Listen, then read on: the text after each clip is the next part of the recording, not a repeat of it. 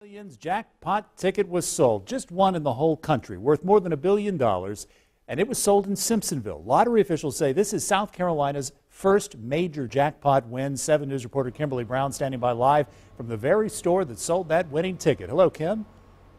Hello, Gordon. Well, you know, right here in Simpsonville, a lot of people are excited because the lottery ticket, as you mentioned, was sold here. Now, the person holding that ticket is unknown, and in South Carolina, they can remain anonymous. But one thing we do know is that that ticket was purchased right here at KC Mart Convenience Store, and the parking lot has been a buzz.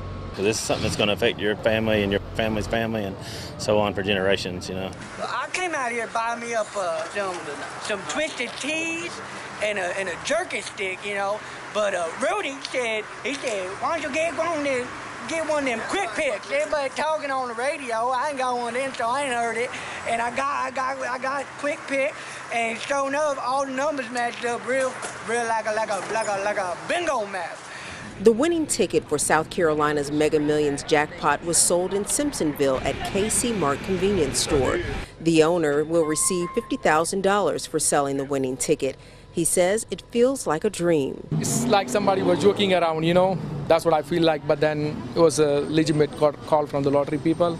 And we celebrated some fierce that night. It was, it was, it was. Uh, we woke up. And I woke up right outside the liquor store here, and uh, the, the ticket was gone.